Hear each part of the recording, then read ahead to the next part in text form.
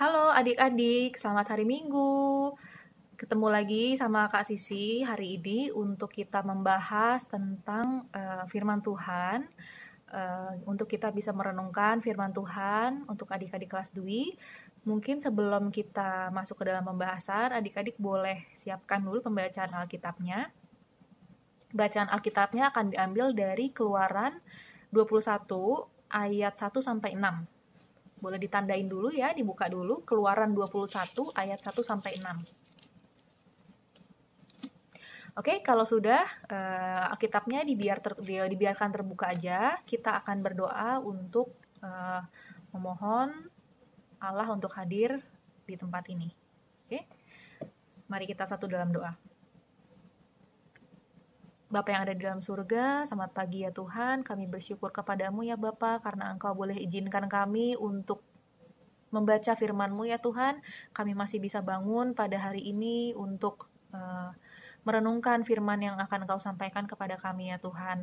Bapak, kami sudah siap ya Tuhan, Alkitab sudah terbuka di depan kami. Kami sudah menyiapkan hati kami, kami sudah menyiapkan diri kami, pikiran kami, mata kami, dan tinggal kami sudah kami buka ya Tuhan, untuk kami mau mendengar dan membahas dan mendalami firman-Mu pada hari ini.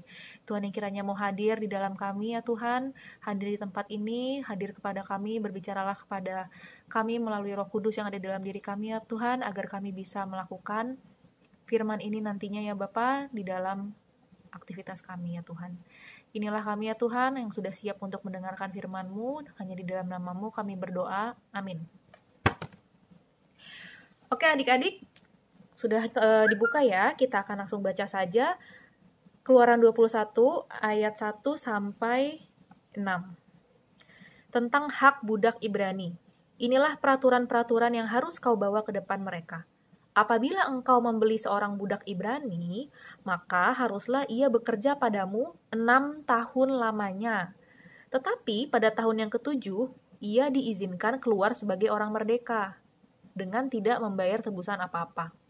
Jika ia datang seorang diri saja, maka keluar pun ia seorang diri. Jika ia mempunyai istri, maka istrinya itu diizinkan keluar bersama-sama dengan dia. Jika tuannya memberikan kepadanya seorang istri dan perempuan itu melahirkan anak-anak lelaki atau perempuan, maka perempuan itu dengan anak-anaknya tetap menjadi kepunyaan tuannya, dan budak laki-laki itu harus keluar seorang diri. Tetapi jika budak itu dengan sungguh-sungguh berkata, "Aku cinta kepada tuanku, kepada istriku, dan kepada anak-anakku, aku tidak mau keluar sebagai orang merdeka." Maka harus haruslah tuannya itu membawanya menghadap Allah lalu membawanya ke pintu atau ke tiang pintu, dan tuannya itu menusuk telinganya dengan penusuk, dan budak itu bekerja pada tuannya untuk seumur hidup. Demikian pembacaan Alkitab. Sekarang eh, kakak akan bahas eh, renungan kita hari ini menjadi tiga bagian ya adik-adik ya. Menjadi tiga bagian.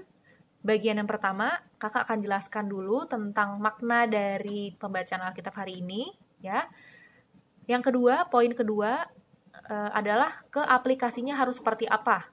Dari pembacaan dari maknanya ini apa yang harus aku lakuin nih kak uh, setelah membaca firman Tuhan ini ya.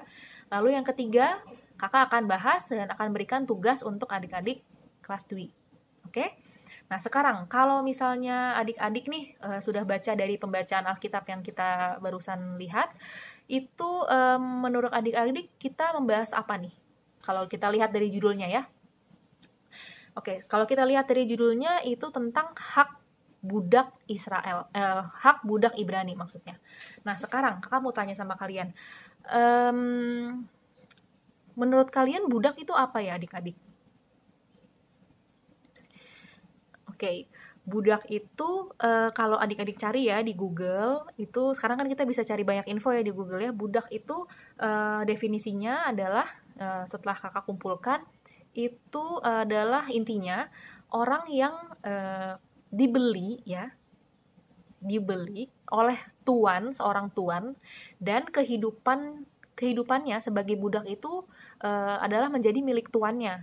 Jadi dia mengabdi untuk tuannya seperti itu. Jadi mungkin uh, menurut adik-adik kata budak tuh kayak kok kasar banget ya kak budak gitu ya. Kayak uh, kayak nggak manusiawi gitu ya. Nah tapi kalau misalkan adik-adik inget nih, kita flashback ya ke cerita Alkitab di zamannya uh, Israel masih di Mesir. Ya, waktu Israel masih di Mesir, adik-adik inget nggak apa yang mereka alami ketika mereka lagi ada di Mesir? Ya, betul. Mereka mengalami yang namanya perbudakan. Mereka mengalami perbudakan. Jadi e, dikerja paksa, diminta kerja paksa gitu ya.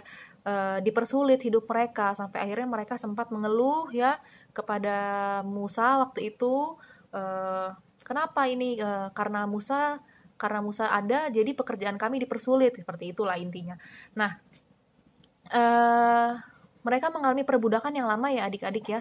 Dan hidup sebagai seorang budak itu tidak mengenakan pastinya. Karena karena uh, hidupnya itu kan menjadi milik seseorang gitu ya budak dalam hal ini di Mesir ya karena kan perbudakan di zaman Mesir itu uh, semena-mena ya nah tapi mungkin adik-adik bertanya nih kok kalau misalnya uh, perbudakan di Mesir itu semena-mena kenapa mereka nih ini kan uh, Ibrani itu kan orang-orang Israel ya kenapa mereka juga punya peraturan perbudakan.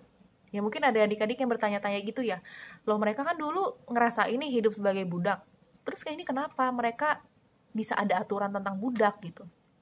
Nah, kalau misalnya kita lihat nih di keluaran ini, ini tuh sebenarnya membahas tentang ya ini peraturan-peraturan um, antara Allah dengan manusia ya. Pada masa itu adalah orang Israel. Nah, um, kalau kita lihat di sini adik-adik mungkin mungkin bahasanya agak-agak sulit ya. Cuman uh, kalau dibaca lagi nih, ini nih ayat 2 sampai 6 tuh mengatur tentang hak-haknya budak. Ya, tahu ya hak-hak itu kan apa yang uh, bisa didapatkan oleh seseorang gitu. Hak ya. Kalau kewajiban kan sesuatu yang kita berikan gitu ya. Nah, ini hak sesuatu yang harus diperoleh oleh budak Ibrani. Apa aja nih? Kita lihat satu-satu ya. Ayat 2. Nah, Ayat 2 seperti ini. Apabila engkau membeli seorang budak Ibrani, ya, membeli ya, membeli berarti dibeli, ya. Maka ia harus bekerja padamu enam tahun lamanya. enam tahun lamanya dan di tahun ketujuh itu dia boleh apa? Kalau dilihat di situ boleh keluar sebagai orang merdeka. Iya. Dia boleh keluar sebagai orang merdeka dan tidak membayar tebusan apa-apa. Nah, jadi seperti yang Kakak bilang tadi di zaman uh, dahulu di Israel itu itu uh, itu hal yang wajar yang namanya perbudakan gitu. Toh uh, ada aturan nih di sini. Kenapa ada aturan ini? Aturan-aturan ini ada untuk membuat para budak itu uh, tetap dilakukan secara manusiawi. Tidak seperti perbudakan yang ada di Mesir ya. Justru Tuhan tidak mau ada terjadinya uh, perbudakan yang semena-mena seperti di Mesir. Makanya ada peraturan ini ya. Mungkin di sini kelihatannya kayak serem banget kak di ayat 6 telinganya ditusuk terus mengabdi uh, seumur hidup itu serem banget gitu. Mungkin ya kita akan mikirnya seperti itu. Tapi di zaman eh, di zaman dahulu itu uh, sebuah keuntungan juga buat budaknya karena hidupnya terjamin. Ada tuan yang menjamin hidupnya gitu. Dan tuannya pun memang bertanggung jawab juga untuk si budaknya begitu. Jadi uh, memang itu hal yang normal di zaman dulu gitu ya adik-adik ya. Nah sekarang kita balik lagi nih ke peraturannya apa aja sih? Kita lihat ya di ayat 3 jika ia datang seorang diri saja, ya, jadi kalau budaknya waktu dibeli itu sendiri, dia hidupnya sendiri, nggak ada keluarga, maka keluar pun dia akan seorang diri, gitu. Jika ia mempunyai istri waktu dia dibeli oleh tuannya, maka dia keluar pun akan eh, keluar sama istrinya, jadi boleh dibawa istrinya, gitu ya. Nah, tapi lain halnya kalau misalnya di ayat 4, dia punya istri, tapi istrinya itu dikasih oleh tuannya dan akhirnya dia punya anak kan dari istri itu kan. Nah kalau begitu jadi kan berarti dia masuknya tuh uh, sendiri tapi waktu dia hidup sama tuannya dia dikasih istri kan dan akhirnya dia punya anak. Nah itu uh, pada saat dia bebas di tahun ketujuh itu dia tidak bisa membawa istri sama anaknya karena itu uh, ibaratnya pemberian dari tuannya gitu bukan haknya dia gitu ya. Jadi dia keluar sendiri nggak bisa bawa istri sama anaknya. Nah tapi kalau misalnya di ayat 5 adik-adik lihat. Misalnya budaknya itu kalau di ayat 5 dia dia sungguh-sungguh berkata, "Aku cinta sama Tuhan aku" gitu. Dia uh, senang bekerja dengan tuannya, dia sayang sama tuannya dan dan dia juga sayang kepada istri, cinta kepada istri dan kepada anak-anakku. Aku nggak mau keluar sebagai orang merdeka. Jadi ibaratnya di tahun ketujuh itu dia bisa pilih tuh si budak ini apa dia mau keluar menjadi orang bebas atau dia mau pilih tetap uh, kerja sama tuannya karena dia uh, begitu menyayangi tuannya dan juga istri dan anak-anak yang diberikan oleh tuannya itu untuk dia. Lain ceritanya kalau dia memang masuk udah punya istri dan anak, nah itu dia bisa keluar sama-sama tuh satu keluarga gitu adik-adik. Nah tapi kalau misalkan uh, dia posisinya masuk ke uh, pada saat dia dibeli itu dia belum punya istri dan anak ya dan dikasih sama tuannya itu dia keluar dia bisa pilih mau keluar tapi sendiri nggak bawa istri dan anak atau dia tetap di situ uh, tahun ketujuh itu tapi dia akan kerja selamanya ya seumur hidupnya. Gitu ya itu gampangnya seperti itu ya adik-adik ya. Jadi jangan jelimet. Intinya begitu ini peraturan budak uh, hak-hak hak-hak untuk budak itu. Nah sekarang tadi balik lagi ke pertanyaan kalian mungkin. Lah ini kenapa sih kak? Kok ada perbudakan di sesama orang Israel ya memang yang tadi kakak bilang itu memang hal yang normal tapi bedanya peraturan ini ada supaya nggak terjadi lagi tuh yang perbudakan kayak di Mesir yang uh, mereka benar-benar diperlakukan dengan semena-mena. Jadi gini adik-adik mereka kan cukup lama ya di Mesir untuk menjadi budak orang Mesir dan diperlakukan seperti itu. Jadi besar banget nih kemungkinan mereka sebagai begitu udah bebas mereka akan melakukan hal yang sama juga ke budak mereka semena-mena juga gitu. Jadi untuk menghindari itu semua maka ada aturan seperti ini gitu. Nah uh, sekarang itu itu konteksnya ya. Kakak sudah bahas yang uh, poin pertama konteksnya dan situasinya. Nah sekarang poin yang kedua. Mungkin adik-adik mikir terus kenapa kak? Apa yang kita bisa belajar dari cerita perbudakan ini? Gitu. Nah ada uh, dua hal yang perlu adik-adik ingat nih dalam hal uh, aplikasi ya, aplikasi apa yang uh, perlu kita ambil dari cerita tentang aturan perbudakan ini. Nah, kalau misalnya uh, kita lihat sebenarnya um, yang pertama kita harus ingat ya adik-adik, kita tuh harus bersyukur sama Tuhan. Loh kok tiba-tiba bersyukur kak? Kenapa tiba-tiba bersyukur? Nah, jadi gini, kita tuh um, harus harus mensyukuri kebebasan yang kita alami di dalam Kristus kebebasan yang da, yang kakak maksud di sini bukan kebebasan kita bebas ya kita nggak diperbudak sama orang. Tapi satu hal kita sudah bukan kita sudah kita ini sebenarnya masih diperbudak tapi bukan sama orang. Sama siapa adik-adik? Sama do sama dosa. Jadi kita masih diperbudak oleh dosa ya. Tapi ya tapi kita sudah dibeli sudah ditebus. Sama siapa Iya betul, kita sudah ditebus oleh Tuhan. Kita yang diperbudak sama dosa, terus kita sudah ditebus sama Tuhan, ya, dengan pengorbanan Tuhan di kayu salib. Berarti kita harus hidup untuk Tuhan kita siapa? Untuk Tuhan kan berarti kan? Dan um, kalau kita sudah ditebus ya, sudah dibeli gitu ya oleh oleh Tuhan, dosa kita sudah ditebus harusnya kita sudah tidak hidup untuk dosa. Kita sudah tidak diperbudak sama dosa.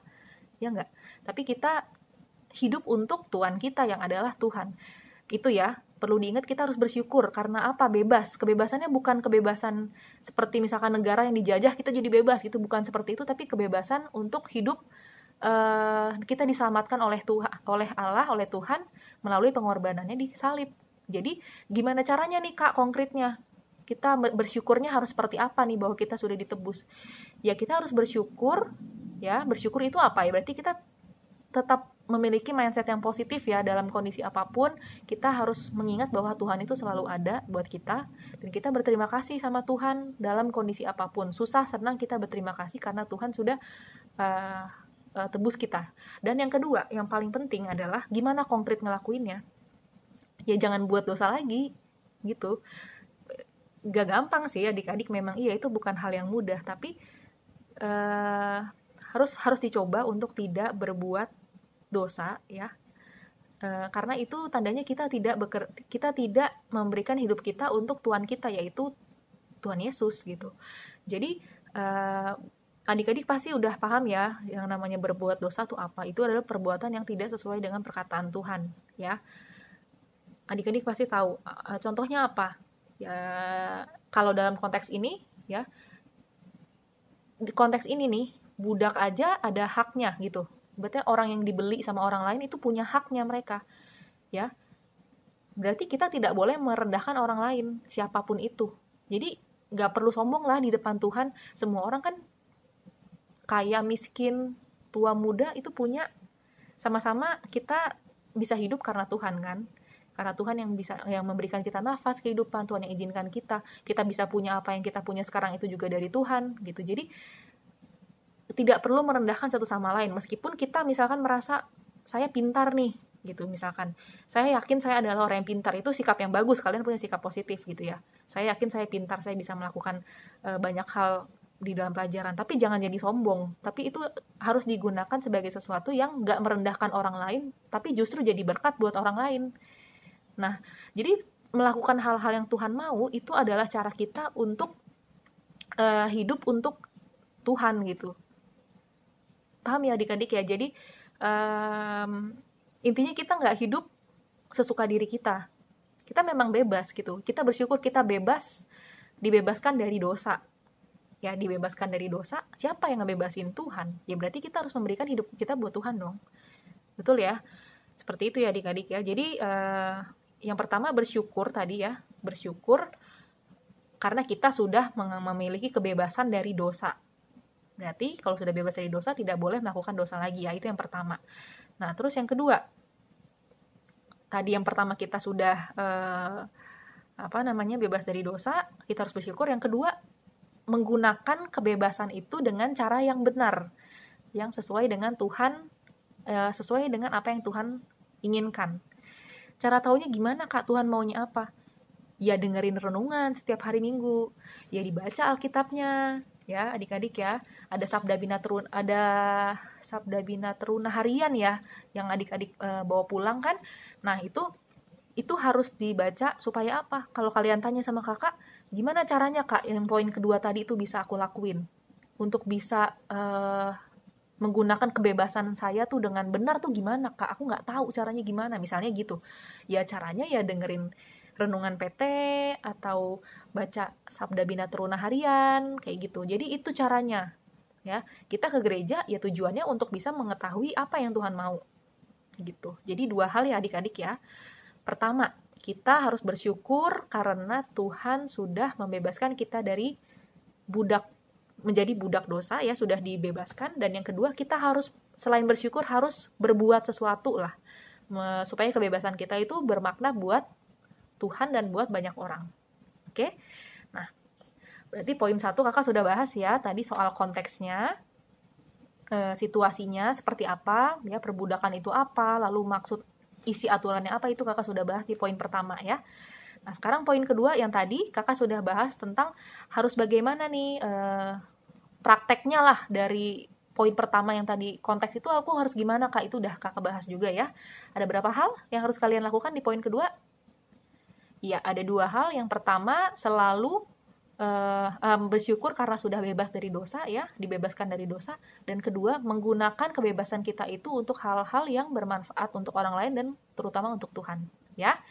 Poin kedua sudah, sekarang masuk ke poin ketiga. Oke, adik-adik, poin ketiga apa nih? Nah, poin ketiga tadi kakak bilang adalah tu tugas ya. Jangan jangan sedih ya kalau dengar tugas ya. Karena tugas ini supaya adik-adik bisa uh, buat kita sama-sama bisa ingat apa yang mau Tuhan sampaikan ke kita. Nah, eh, di poin ketiga ini tugasnya adalah coba adik-adik renungkan ya, renungkan eh, apakah pernah adik-adik melakukan hal-hal yang eh, merendahkan orang lain, misalkan tidak menghargai sesama itu pernah atau enggak, ya. Misalkan pernah direnungkan, lalu ditulis, ya. Boleh kalau kalau kasih sih terserah kalian mau tulis di WhatsApp di chat WhatsApp, mau di voice note, di voice note juga boleh atau mau ngirim video atau mau bikin pakai kalian gambar atau apa terserah. Yang penting pesannya dapat ya buat kasih jadi uh, yang uh, harus kalian tulis itu adalah komitmen kalian ya. Apa yang mau kalian lakukan ke depannya supaya kalian supaya kebebasan kalian dari dosa itu tuh bisa bermanfaat buat Tuhan dan buat orang banyak. Ya kakak ulang ya. Apa komitmen kalian yang mau kalian lakukan supaya kebebasan dari dosa yang sudah kalian dan kita semua alami ini bisa berguna untuk orang lain dan untuk Tuhan. Apa? Jadi apa ya? Spesifik ya. Contoh gini. Saya um, saya mau misalkan uh, jadi ketua kelas PT contoh misalnya itu kan kebebasan apa ya yang yang sudah maksudnya kalian mau berkarya untuk lingkungan kalian gitu dan itu membawa berkat kan. Nah kayak gitu. Jadi eh, hal-hal seperti itu ya ditulis simple aja seperti itu kalian uh, kirimkan ke kakak apa komitmen kalian? Tapi kakak harap nggak cuman kayak menjadi ketua kelas PT gitu. Nggak. Jadi uh, apa apanya dan kenapa. Jadi misalkan menjadi ketua kelas PT karena saya ingin uh, misalnya uh, bisa bermanfaat buat teman-teman PT, saya rindu untuk melayani. Intinya ada kenapanya juga gitu. Jadi jangan cuma satu kata aja ya, adik-adik ya. Nah, uh, sekian renungan untuk uh, kelas Dwi pada minggu hari ini. Kakak harap kita semua bisa sama-sama uh, belajar, nggak cuma adik-adik, buat kakak juga, untuk bisa um, melakukan firman ini di dalam kehidupan kita sehari-hari. Kita tutup pembahasan kita dengan doa. Mari kita satu dalam doa. Bapak yang ada di dalam surga, sungguh kami bersyukur kepadamu ya Bapak karena Engkau sudah boleh beserta kami di dalam pembacaan Alkitab, di dalam kami membahas tentang renungan pada hari ini ya Tuhan. Kami mau berterima kasih Bapak karena Engkau boleh ingatkan kami untuk selalu bersyukur kepadamu. Kami berterima kasih Tuhan karena Engkau sudah bebaskan kami. Kami sudah merdeka dari dosa ya Tuhan. Dan kami punya komitmen ya Tuhan agar kami bisa terus memanfaatkan kemerdekaan kami dari dosa ini untuk hidup bagi Engkau. Untuk menjadi bermanfaat untuk sesama kami dan menjalankan tugas di kami di dalam dunia ini ya Tuhan menjadi anak anak Tuhan yang bisa membawa terang bagi sesama kami. Kami sadar ya Tuhan, mungkin hal ini tidak mudah untuk kami lakukan seorang diri. Oleh karena itu ya Tuhan, kami mau membuka diri kami ya Tuhan agar uh, Selalu ya Tuhan berbicara kepada Roh Kudus yang ada di dalam hati kami, di dalam diri kami, agar kami selalu ingat untuk melakukan firman yang sudah Engkau sampaikan kepada kami ya Tuhan pada hari ini. Terima kasih ya Bapa, ampuni salah dan dosa kami ya Tuhan. Inilah doa kami, hanya di dalam namamu kami berdoa. Amin.